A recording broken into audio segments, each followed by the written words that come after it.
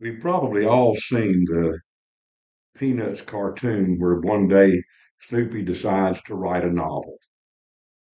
And he has a big discussion with uh, the kids about this novel. And so he's up on the rooftop with his typewriter, with his paws on the typewriter, and he starts his novel.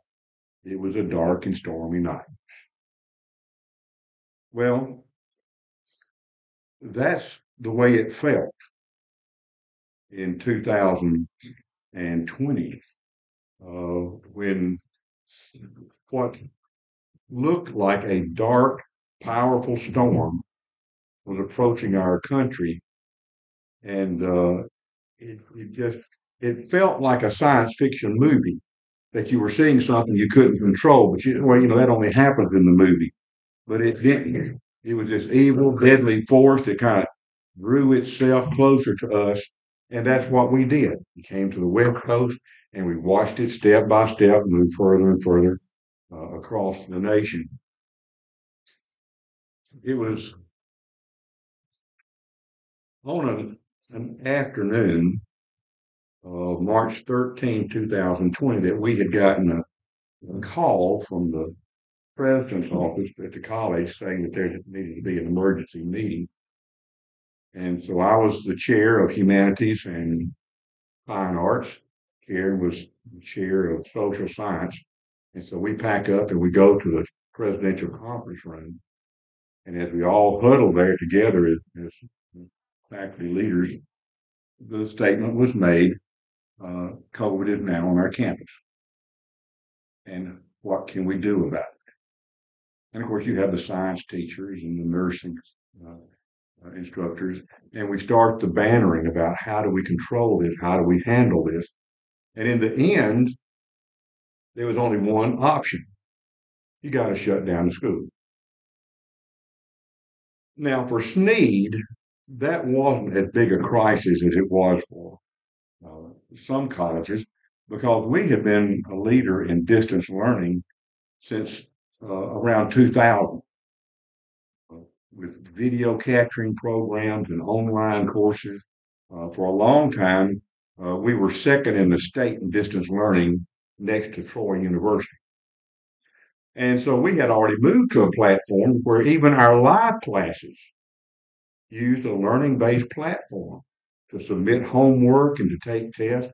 And so it wasn't really a major deal to take your live classes and move them online to finish out the semester. Some institutions weren't prepared for all of that and went through a lot more effort to make it right. But what happened as it moved on, suddenly colleges and schools and entire school systems began to shut down because they didn't know what to do. Uh, children became proficient in computer technology all the way down to kindergarten.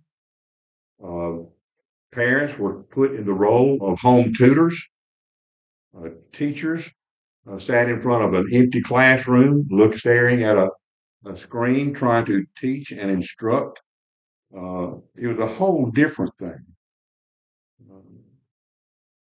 And then what happened in the middle of all of this preparation of the people telling us what we have to do to be safe, where we need to go to be safe, there comes this uh, anti culture bounce. People began to rebel because they didn't want their children out of school. They rebelled because their, their children weren't going to wear masks. Masks were dangerous. Uh, they said that the scientific evidence that this uh, disease was what it was was all wrong. And so they marched on schools and just all these blazing flames of, of conflict came about. And there's no doubt that students suffered. They always said they'll catch up over a period of time. They're still talking about that now. Uh, as, as these students are going through school, they keep saying, well, they're not quite back from that one year that they missed completely out of balance. Um, and of course, what followed suit um, businesses closed, offices shut down, uh, restaurants would close down, face to face meetings were Zoom and Skype. Uh, companies mandated people not to even come into offices. I think my daughter was at the Arsenal. She was forbidden to come on the Arsenal during all this time. Uh, and during all this shift and turmoil, I decided I needed to update my desk for my home office, go up to Staples, go back to the back and look at their desk, and there's nothing really there. And so when I say something to one of the salesmen, he says, Well, you know, since this COVID stuff hit, we can't keep desks because everybody's starting their own home office. And put that together. Uh, restaurants closed, and some hung in by becoming uh, drive-through restaurants. Uh, others, especially the little mom and pop stores, closed. Many of those didn't open. I know that during the pandemic there were three or four local restaurants in Guntersville that we would kind of rotate around on Friday night, our date night, and we'd pick up a meal and bring it home so that we could at least try our best to support the local restaurants. And we even know up till now, every fast food institution you pass and every restaurant you pass has hiring notices out there. And sometimes you go into a restaurant and you have to wait, and only half the tables are busy. They just don't have enough people to work them. So it really created a massive, massive problem. And then what really set the thing off for us as a nation is that in the mix of all of this, we let the disease become political, which was an extreme disaster. Uh, I'm in my 70s, and I remember as a child being notified that we would be uh, taking the polio vaccine. And we got a, a, a note, um, and I can't remember, was it three doses that you had to take uh, every, like every week or every other week? And you'd go to a local school and they would give you a, a sugar cube with a red dot on it, and you'd take that polio vaccine. The people going there knew what polio was all about. They had lived with it. And now something was available to do something about it. And there was no rebellion. People just packed up and headed out and never asked a question. At one point in time, there was a, a guy uh, on the news when they had opened up for shots. He was the first one there, an elderly man. And they were going to interview him. They said, So why have you come? He said, Because I was in the 70s, uh, I was in my 70s or 60s, and he said, I went through all this with the polio vaccine, and he said, I'm not going through that again, so I'm getting mine first. And uh, so many of us understood that. Some of them questioned the availability of it. Some people criticized and said the disease was just publicized. They offered uh, alternative methods of curing the disease, like drinking Clorox or taking animal pills uh, because it was just ruining their lives. In uh, March of this year, the National Health, World Health Organization, the World Health Organization, cited that there had been 760 million cases of COVID around the world. And that's the confirmed, and almost 7 million deaths. In the United States, we had um, 102 million confirmed cases, over a million deaths, and these numbers are still rising because the disease is still with us. Karen made a comment this morning as we were getting ready for church. She said, You know, we really thought that in the age that we live in, with medicine and science at the level that they are, that we would have never faced anything like that. But it did. It really caught us off guard. And one of the saddest stories, uh, and you may know more about this than I do, it was on the news about a local businessman who said that COVID was not real and got real aggravated about it. Uh, he ran a business and he wouldn't let anybody in his business who wore a mask. because he, he was that adamant that it was a fa- fake disease, ranted and raved about it. And then before the end, he catches COVID and he dies. It reminded me of that story of the the man who had the field and had these super crops growing up, and he said, you know, I'm going to say to my soul, eat, drink, and be merry, because what all have I have? And God just turns and says, you fool. This night your soul will be, requiring you. And so there was a greater tragedy for some of us uh, because even places of worship turned into political ba- uh, battlegrounds and medical battlegrounds, uh, especially throughout the course of things. Uh, small congregations and conservative religious groups just denied the fact that it was happening. I don't know how many tales I heard uh, from close people that said, well, our church has decided just not to do much about it. And then time after time after time, they had to close the church during this time because COVID had, uh, COVID had gotten so rampant in the church. It just circled around the church staff and nobody really seemed to care about it.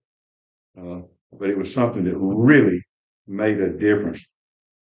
On the other hand, uh, a lot of the larger churches, more progressive, the mainstream groups, put in place safety measures and came through it uh, fairly well.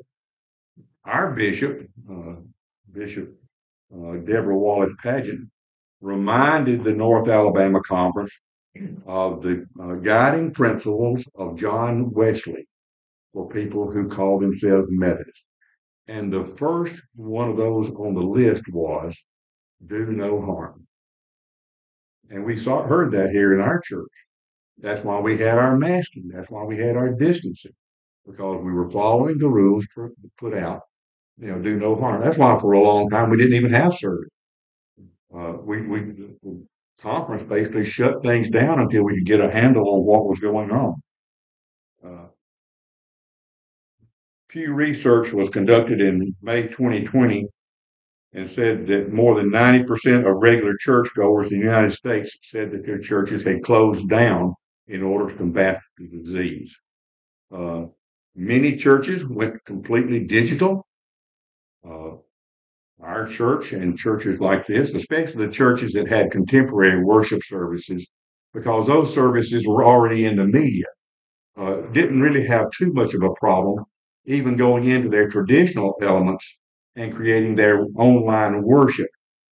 Uh, even small to medium churches were finding places in their budget to buy equipment and technology to keep the community together uh, and keep it moving.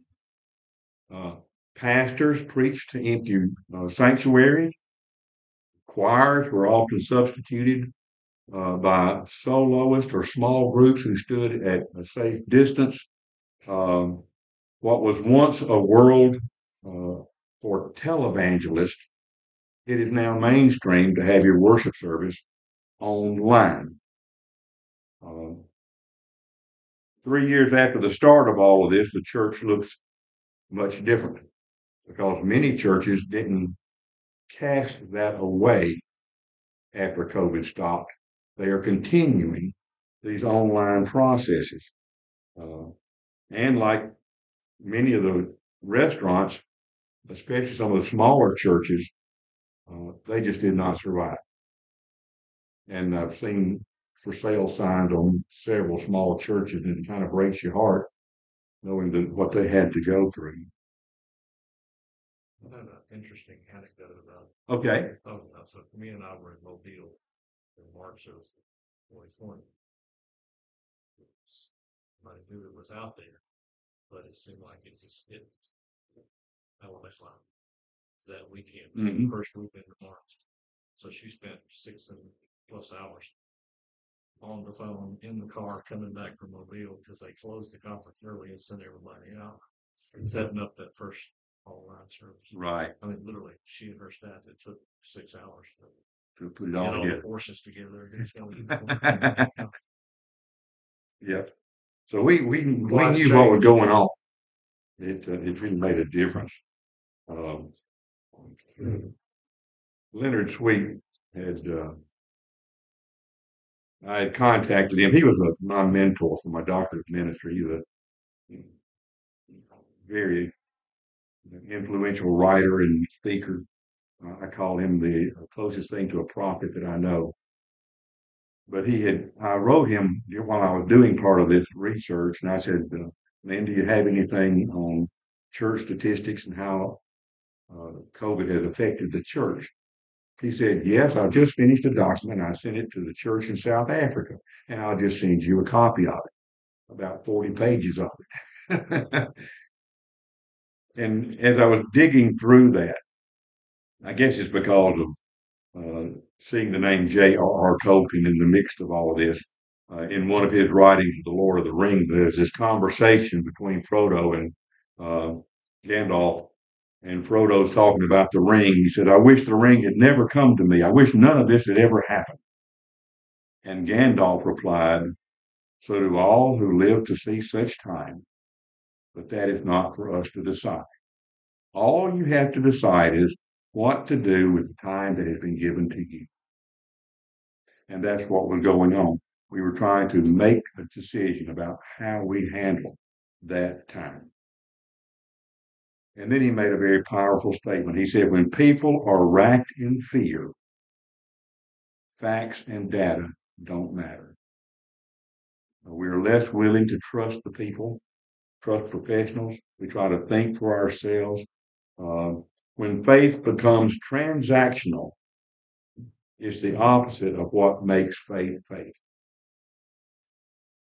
And so the global threat came to our nation, uh, and we worked through it and and really uh, stretch ourselves to try to become something other.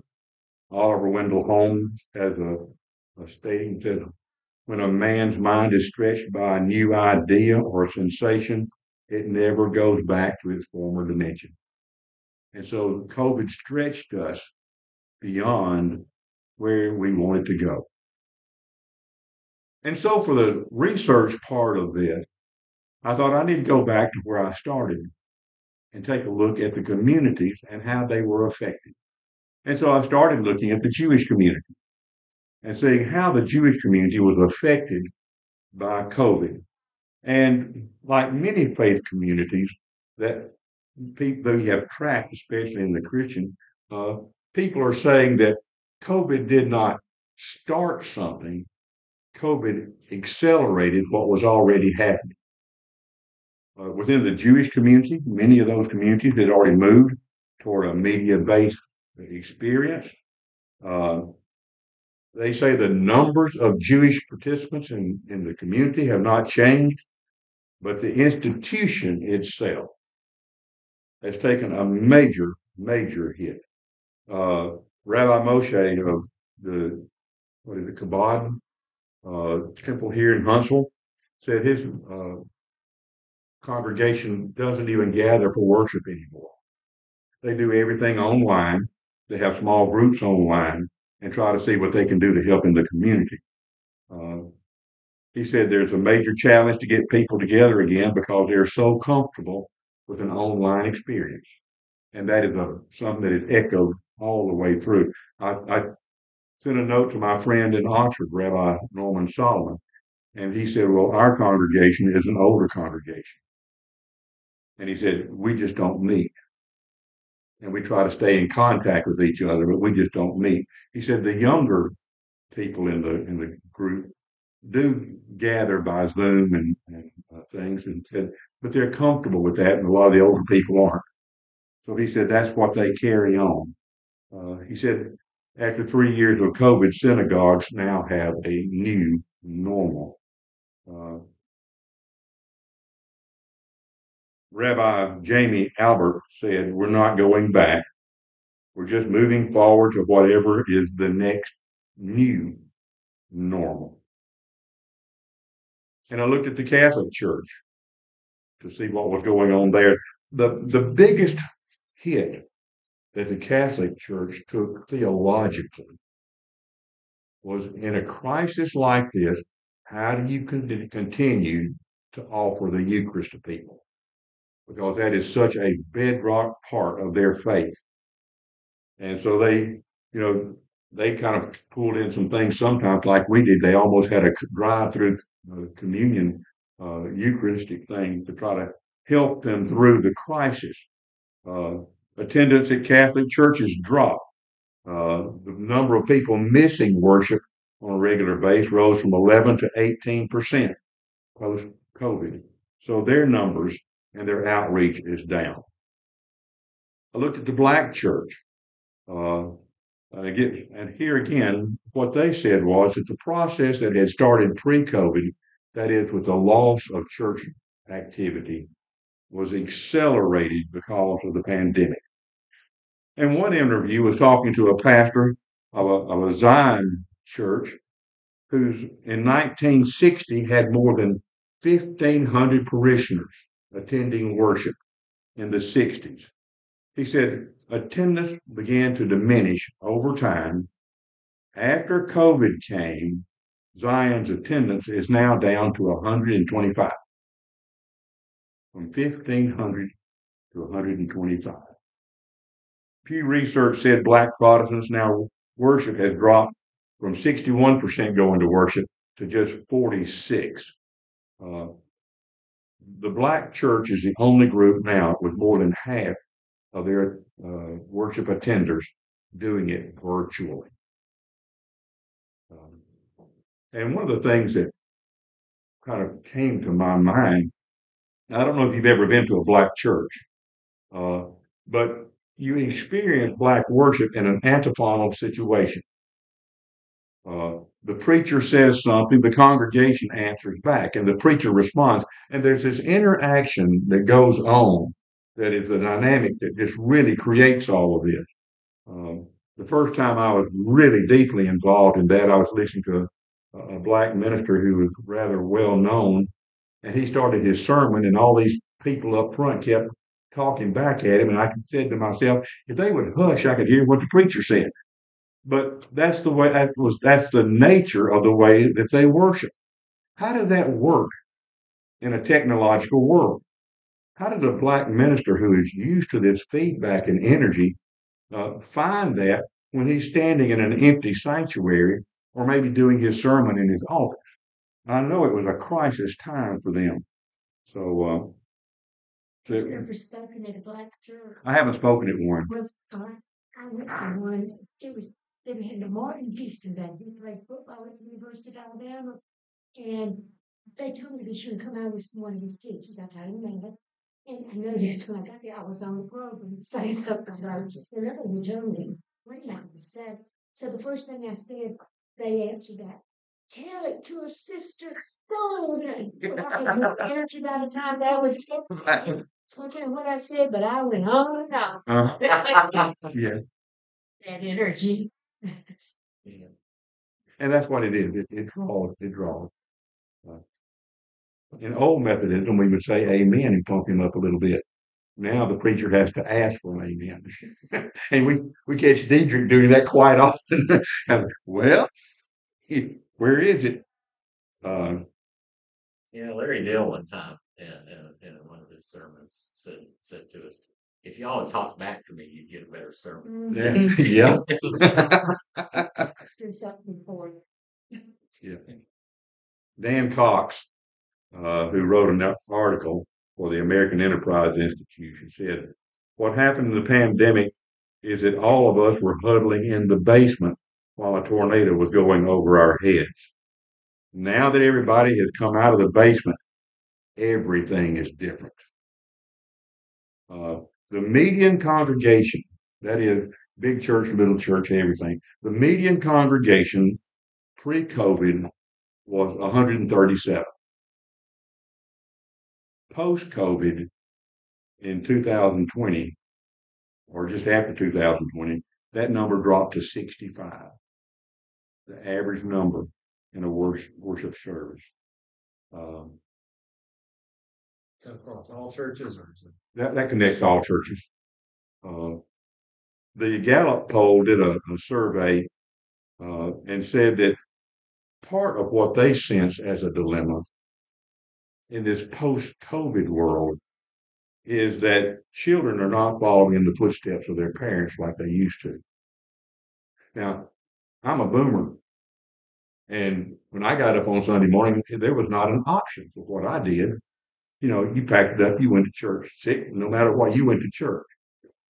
And then we have, we reached a point where with varying types of worship services, well, we could we could go here and our children would go there. And now the children are making a decision whether or not they want to go or not. Uh, one of the things that was interesting about this, um, and I don't think I actually put that statement in the book, but I meant to. I had looked at statistics about the recovery of worship and how that there is, has been a, a recovery element in the traditional style of worship. And we can tell that in our church. Our traditional service, uh, at least from where I sit up in the choir on Sunday morning, looks pretty good, you know, all in all. But what they said in the survey was that they found out that the contemporary service lost all these people and they're not coming back. And it's because they have gotten so comfortable with getting up, grabbing a cup of coffee, and sitting in front of a computer for worship. And according to their research, they don't see that the contemporary service is going to make a rebound. And we're struggling with that right now ourselves. That the that the, our traditional service came back much faster, and the uh, contemporary service has not made the bounce. Uh, I had meant to get with some of the staff this past week to see how many, uh, how they are attracting the online worshipers, because we have a large, you know, a large group for our traditional worship. I'd like to know how many are in that contemporary block and how many of, of people beyond the walls of the church are really connecting with the church. Uh, far enough from the impact crater of the original twenty twenty to start getting some interesting Right. results, 2022, 2023, and forward, to see how many people are actually online, how many of those maybe transition back to live, and how Right. many left. The only anecdote I can offer was when everything was closed down, we've got a friend, Matt Cotton, he runs a a little church down in Pensacola, and they were online real quick. You know, They, you can come in person, or you can be online. In a little, you know, the small You church. said tithing went up. They're, they're, they're, gi- I was gonna, yeah, I was gonna tie giving into this Uh-huh. because uh, their giving Rose. up significantly during that period of time. And uh, so when we went and visited them down there uh, in in uh, late 2020, and when I got back, I would actually continue, I would dial in, dial in, uh, go online for his service. So I'd be out running, I'd have his Mhm. service on, so I could kind of see. And they had there'd be people in person, but there would be you could tell how many people were online. Right, right. And so not too long ago, maybe three or four months ago, I, I went back on every like two online. Everybody else is, is Back in. in. So it's kind of, then I got me thinking, yeah, what's that dynamic across the whole space, right? Right. Like everybody else, but, um, but that was an interesting point that giving was up. Now, I haven't talked with him since to see post recovery, you know, where, where is that now and their Right. overall attendance. And that was a, an unusual statistic about worship in Great Britain. So during COVID, worship in Great Britain really took a jump for the good because they had almost completely gone non-Christian. But it was all online worship. It was not in-person worship. So it was, it was the draw there, uh, probably primarily from fear. Yeah. Maybe. Yeah. Do you think there are other aspects? I know, um, like a friend of mine, her daughter went to college. And she said they programmed her. And so she went away from Christianity. She doesn't even come back to see her mother anymore because she was told that she was a Christian, that she's a fanatic or something. And so, you know, mm-hmm. I've heard that a couple of times. And it's, it, it, you know, in that break during the, in the last few years, a lot of this So I thought that plays into it a lot too, that, that you're getting that, um, anti-Christian view Right. from a lot of it. You don't see a lot of young people, you know, 20, 20 year olds here. And my son's struggling with that because mm-hmm. he goes to a class, there's two people in it. Mm-hmm. And that's, And that, I would say that's probably true just about everywhere. It's that twenty to twenty-four age group or probably the eighteen to twenty-four. You know, first year of college on through, they're just absent, completely absent. Uh, when I, when I taught at Snead, uh, I taught ethics and society was my big class. I probably had about 300 students a semester in that. And then I taught religion courses, uh, New and Old Testament and world religion, and I'd have another hundred in that.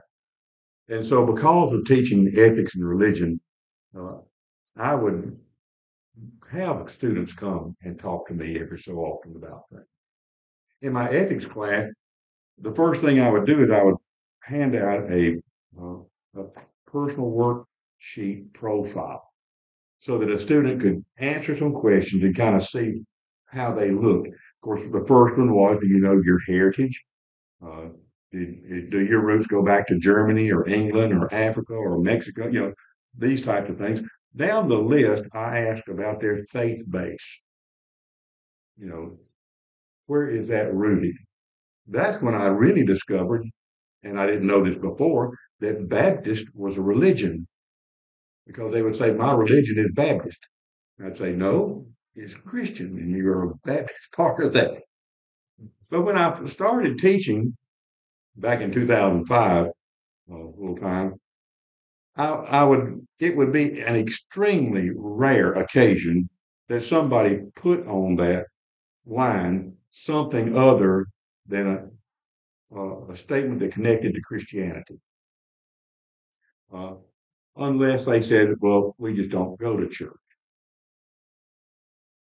Probably within five years or so, uh, the word agnostic started creeping in. And, you know, when I was a freshman in college, I didn't know what agnostic meant. And I realized that they didn't really either, but they didn't know how to express themselves. Uh, they were struggling with what they did believe and didn't know how to identify but it was beginning to show that that there were struggles coming in uh, to this younger generation. And as the time went on, before I uh, came off college in 2020, uh, out of the live setting, uh, I was getting answers like atheist and Wiccan and none. There had been a major, major shift. And so these people would come to me and talk to me and uh, try to figure out what was going on in the world. One gal came and just sat in my office and wept because she had literally been kicked out of her church because she had a baby. Another one came uh, and said that they had been uh, removed from the church roll because they had a tattoo. And another one who came to class all dressed in, in black uh, God's dress, finally got pushed out of her church. And when I would hear these statements from these children, I, you know, it'd be like, no, no wonder there's tension going on uh, in all of this. Uh, because of all this moving around, Leonard Sweet talked about education and church and technology. In a world where you can get a degree from anywhere and never attend there. I got a hatful of degrees and I've never taken an online course, but I taught them for 15 years. So the, I, I have a one way experience with some of that. But Len Sweet said that after the pandemic, he said now there is a new front door for the church, and it's the internet. And so the only thing that holds our faith group together now in many locations is just small group meetings. They worship online and then they have what we would call like a Sunday school meeting or a small group meeting somewhere. Uh, place to place. Many older adults now go to contemporary worship not because they particularly like it, but it's because where their children and their grandchildren go. Or that they like to go in most churches, their contemporary service is at eight or nine o'clock, and the elderly group said, I'm gonna get up early, got to get up early anyway, and then I'll be to lunch before the Baptist. So, uh, they just move on. So I agree with that chorus. As I look across church history, the pandemic didn't start something. It accelerated something that was already happening in society. And it really jump started a lot of that. And so that kind of moves us to the questions, you know, when did you come face to face with COVID? If you, you know, that may be like, uh, people remembering when John Kennedy was shot or, or when the tower was struck at 9 11. That I remember when I found out about that. Or how did it affect your home situation or your community?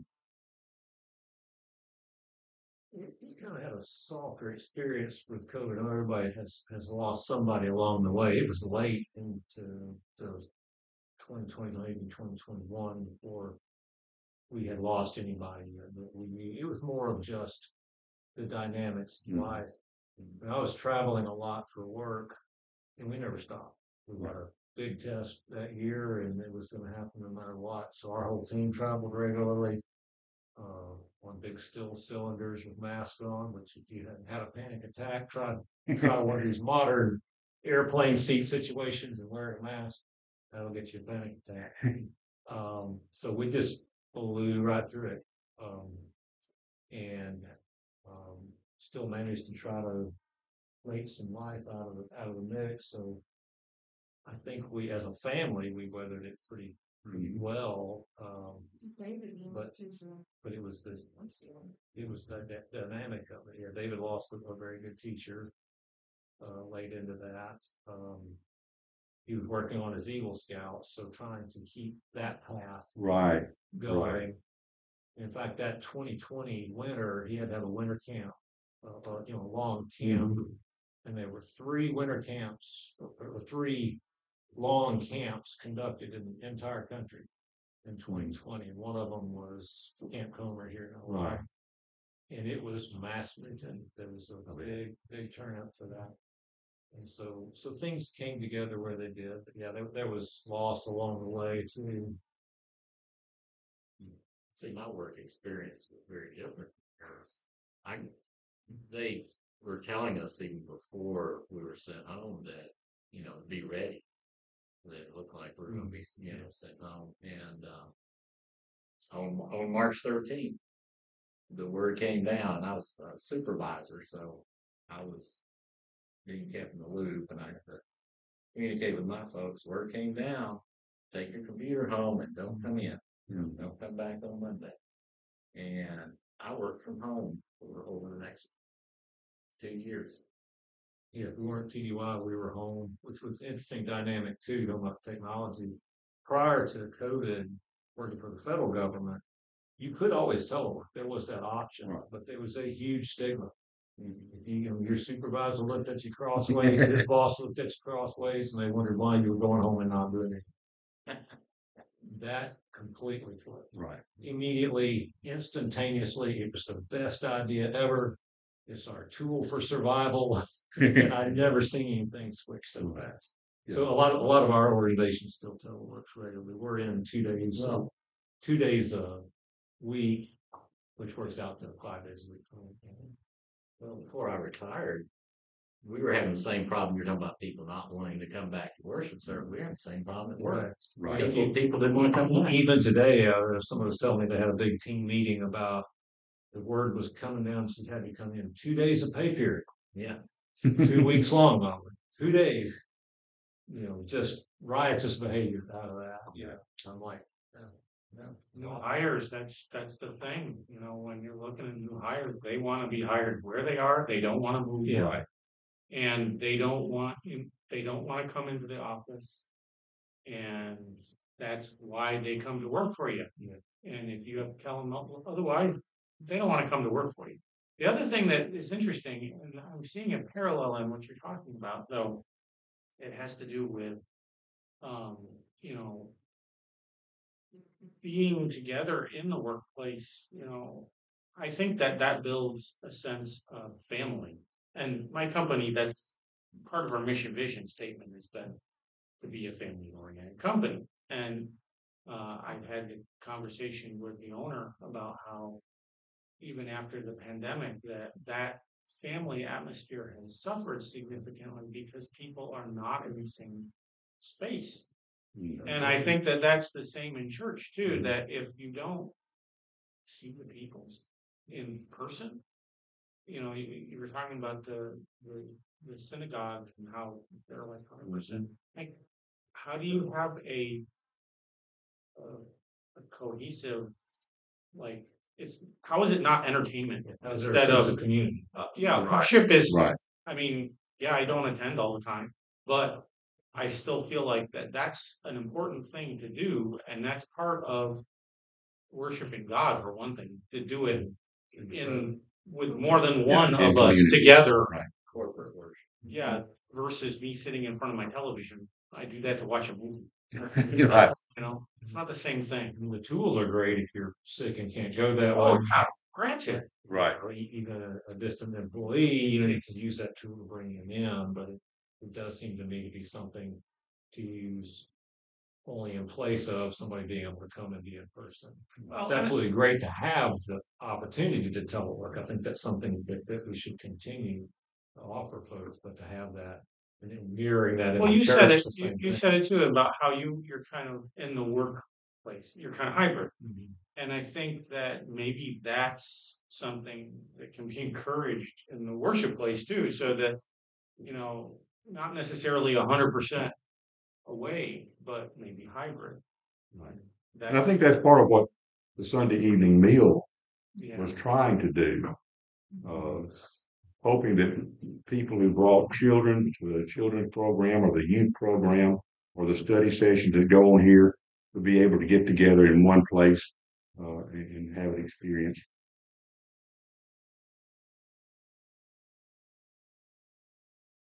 The last chapter was one that I had titled "A View from the Edge of Clouds," uh, seeing things differently. And this is one of the cartoons that can't show you a non sequitur. Uh, but I had it on my door in my office for years and years, and it was a an image of Heaven's Gate, and it was a big overarching thing, and then in the middle of it it said "Welcome to Heaven." And on the right side there was a sign over the door that said "Right Religion." And on the left side, there was a sign over the door that said wrong religion. And these two angels are standing over to the side, smiling, and said, They never get the joke. Both doors are entrance into heaven. And so that's kind of what it felt like sometimes uh, in the struggle of what it means to get in the right door or the wrong door. How do you do things right? How do you know that you do things right? Um, when I was first starting in the ministry, uh, one of the things I wanted to do was do worship right. Uh, when I was in seminary, I studied worship and patterns of worship. Uh, as I got out, I, I became a, a member of the Order of St. Luke, which is a Methodist based uh, organization for people to study and examine how liturgy is supposed to be done in the church, how you're supposed to handle the elements, how you're supposed to uh, go through uh, funeral uh, services and weddings, and and I just always want to do the thing right, but yet you're always not sure of if you're doing it right, uh, and you question that. People would always say, "Well, I just want to go ahead and get my church back to the ancient way of worship and unclutter it." But how do you define ancient way? There's a traditional way, and we do a lot of that. Uh, I've always challenged those people in my congregations to actively participate in the uh, saying of the Apostles' Creed and the Lord's Prayer.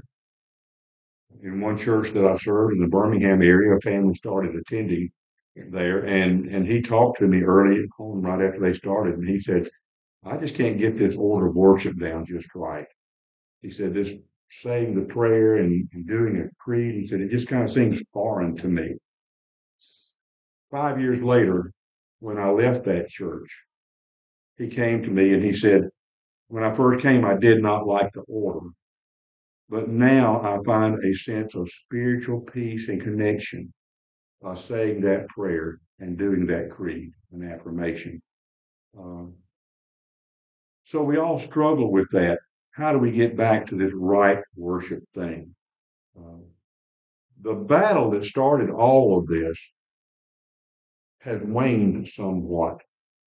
Uh, the struggle of contemporary against uh, traditional or classic worship, because we finally kind of gotten on a level ground, understanding both of us are after the same thing.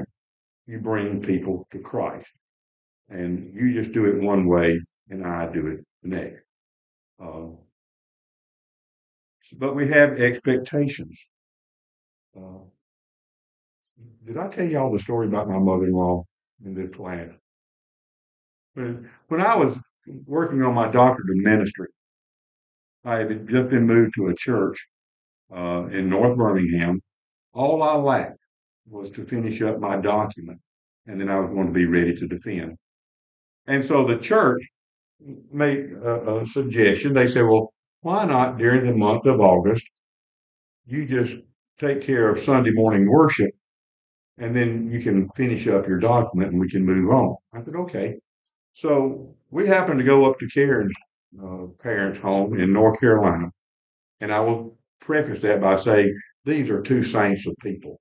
You know, in, in my opinion, they were saints. And so we're in there. And of course, her mother and I uh, always seemed to have religious jocularity going on. And she said to me one day, she said, Oh, so uh, what are you doing on Wednesday night this summer? I said, I'm not doing anything on Wednesday night. You're not? You're not going to church on Wednesday night? I said, No. So why not? I said, Jesus never went to church on Wednesday night. But what are you doing on Sunday night? Nothing. You're not doing church on Sunday night? No. Well, why? Jesus never went to church on Sunday night. And then that's when she said, You blame everything on Jesus. well, Jesus didn't go to church on Sunday anyway. But, but that's kind of the, the way it goes. How we got to where we are. We've talked about all of that uh, working and our expectations of, of what, why we do what we do.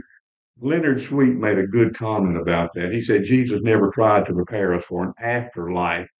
He tried to prepare us to be better people in the here and now.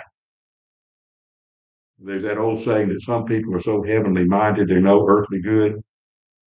And that's what he was kind of pushing at there.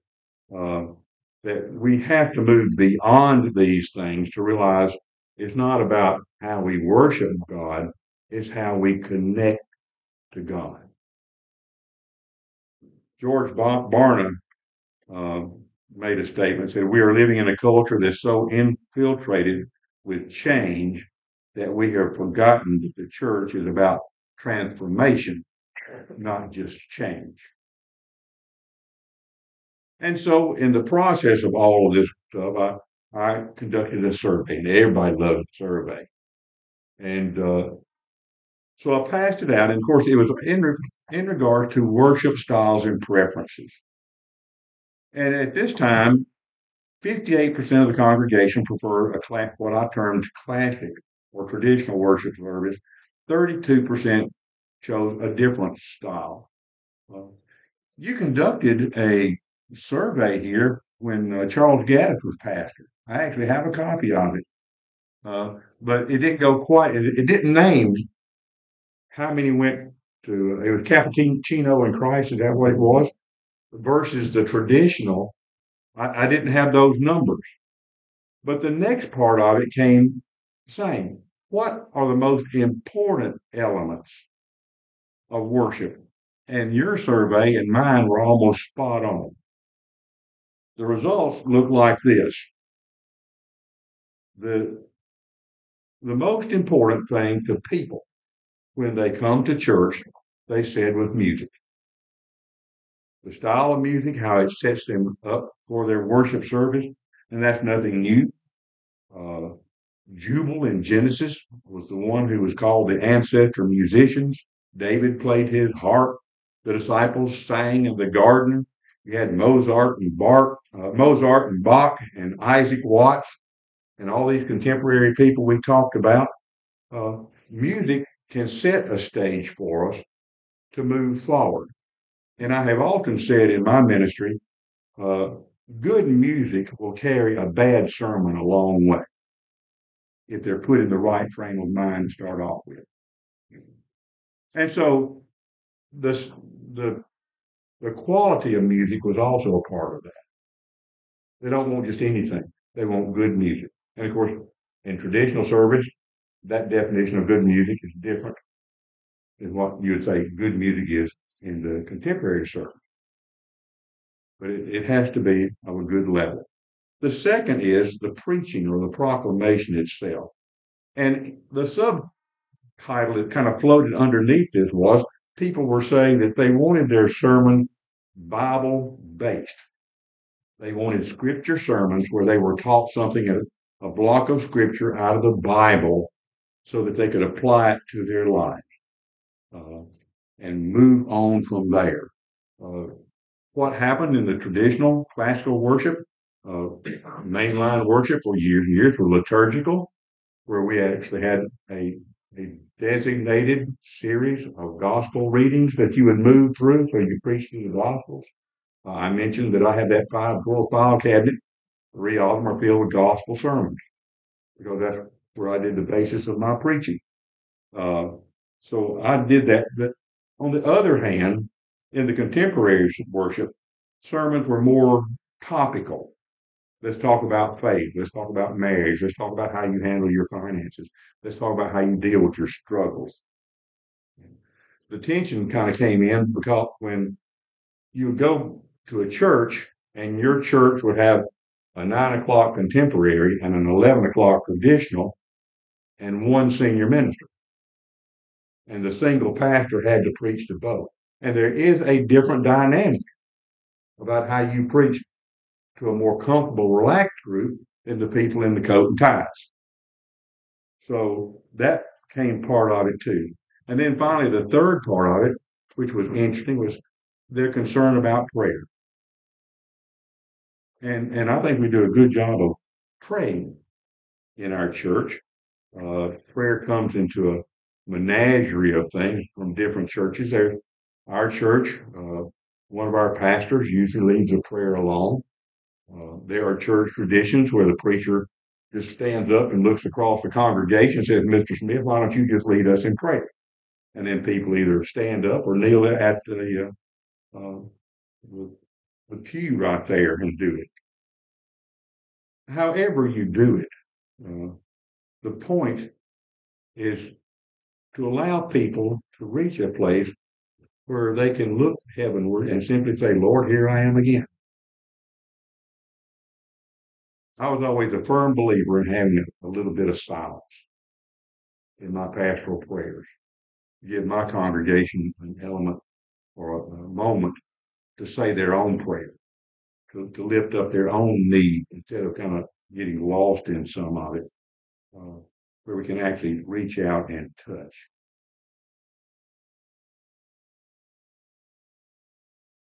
So, as we look at all these different styles, uh, what we're going to find is that at some point in time, there will be those people in traditional and contemporary worship service who, like ancestors in the past, are going to say, This is nice, but this isn't working, this isn't right. And they're going to go out and they're going to start another model of worship. That's what happened for almost 2,000 years. And when that happens, we're going to find ourselves in a battle line situation again because we're going to say we're doing it right and you're doing it wrong. And so, in the bottom of it all, as I kind of sit on top of the cloud looking at it, what all has transpired over these few weeks of, of talking about this, uh, I kind of take a look from up there. And from a distance, when you look at all the worship, worshiping communities, and whatever their style and whatever their mode or modem of worship, they basically all look the same from above. Because they're all doing the same thing. They're trying to get individuals to connect with the Spirit of God.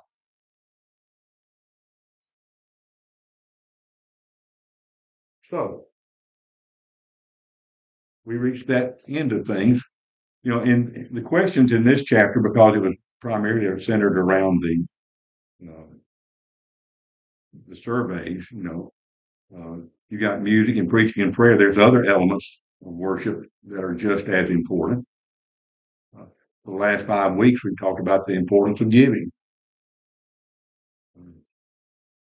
Then right after that, we're about to start into Advent. It's all going to be about expectation, moving toward Christmas and the birth of Christ. I don't know if your top three worship experiences would be the same or maybe in a different order. Um, so I'll just kind of throw that out or just turn it to loose leaf and say any other thing during these eight weeks that kind of come to mind or, or challenged you. Said fellowship, but if, if everything's going Zoom wise, you're not getting that fellowship.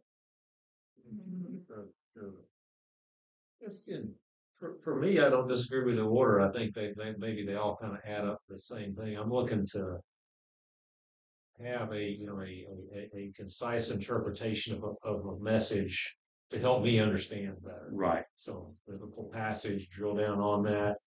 Some ahas that I hadn't thought about. Same reason I would study a, a section with a group of people. But then in that congregational element, it's got some energy or power behind it when you're there. So you got the music, you got the people around you. And having done contemporary and traditional, I find that the same power or interest in there, at least as an adult, maybe as a as a little kid in the Baptist church and big church, it was mm. kind of falling asleep. But as an adult, all that liturgy, all that approach and the choir and everything adds that gravitas to the whole Right. thing. Right. Flat, you know, flip over to contemporaries, the power of the music, the vibe, the group, uh, it, you know, Mhm. it's something to generate some excitement around you to go with the word. Right. And so for me, that's what I look for. And I could find that in both. Um, and, and currently I find that in the congregation upstairs, but. uh, I lived under a terrible burden my entire years of ministry because of my wife, who told me that if I didn't tell her something new every week so that she could learn something, then I just didn't need to preach. You know, it didn't go quite that deep, but uh, but it was but it was a you you need to tell me something new. You know, teach me something that I didn't know. And I think that's kind of the challenge that you're saying too. You know, I want to learn something. I want to carry something away from this worship experience. Well, That's what's what's interesting. is, I mean, I've you know, read it enough. Through it's kind of like proofreading your own paper. After a while, you you kind of lock in, and somebody else says, "We somebody else will say, well, you know, there's if you think about in this particular parable, this person's perspective, you know, you know, Mhm. so that comes even after years and years of going to church. Is still you'll still find that. Right. You'd think that you'd exhaust that as a community we've had exhausted all that depth in the Bible, but it's still there. Mhm. So anyway, So I was surprised that music was the, the first one. I actually go for the message Right. and. uh, And that's what it was here at Trinity. Yeah, In the Trinity survey, uh, the message was was first. yeah. But on, and on contempl, I was kind of the same way. But in thinking about it, I I, I- I kind of could get it because it was it's like if it was really bad or absent, it would it, it would be a problem. Right. So it's that overall framework um, I think.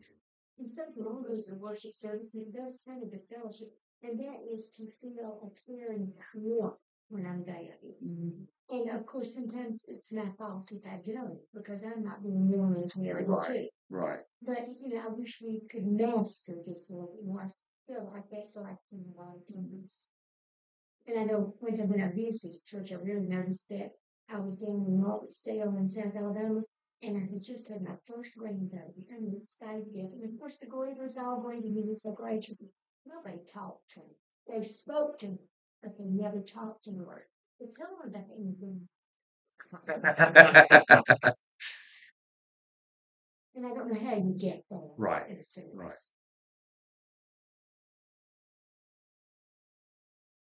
And what we find now too, I remember as a kid, when you left church, everybody went out the front door and stood right out, you know, on the steps of the church and just sat around and talked for a while. Uh, now we move on through, you know, to something else. Uh, with our service arrangement with, uh, our, our church schools and classes in between two worship services, you're either rushing off, and now we're going to be rushing off to either a class or rushing off to a worship service. Uh, and we don't have that time to just stop and take a deep breath and yell at somebody across the uh, narthex of the church and get to visit with them. What we're hoping is though that with this change in worship times, creating this thirty minute window where people can fellowship. You know, it's like a lot of things. It's an experiment. We'll see how it goes. But that's the intent. Mm-hmm. Okay. Yeah, and, and probably who's gonna be most stressed is whoever's preaching and has to go from one end to the Right. other, to the other, right, ready for the, for the different service, but, um, but the intent really is for, for those of us in the congregation to use that time as fellowship. so-